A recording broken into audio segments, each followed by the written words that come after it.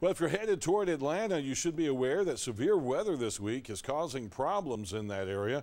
The region has dealt with uh, some bad weather pretty much nonstop since Sunday. The most recent heavy rain and winds brought down trees in areas in and around Atlanta.